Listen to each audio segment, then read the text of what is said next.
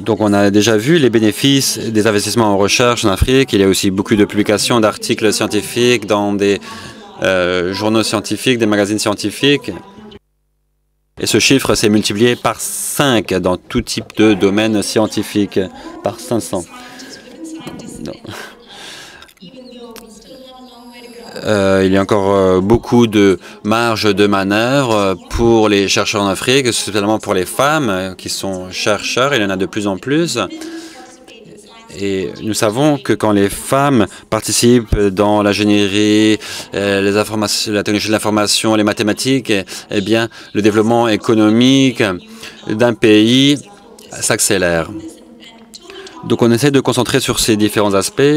Alors je ne vais pas répéter ce qui a déjà dit par les autres intervenants, mais j'aimerais essayer d'apporter quelque chose de nouveau avec une question qui est également importante à mon avis.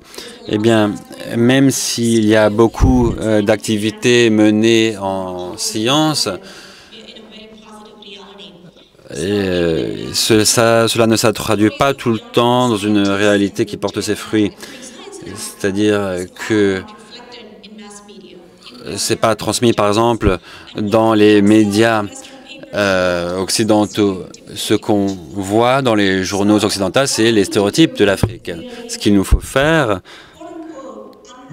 vraiment, c'est euh, partager ces histoires autour de la science en Afrique et d'ailleurs, nous allons annoncer au nom de Johnson Johnson un nouveau défi qui va être dirigé par euh, tous les participants ici à la conférence.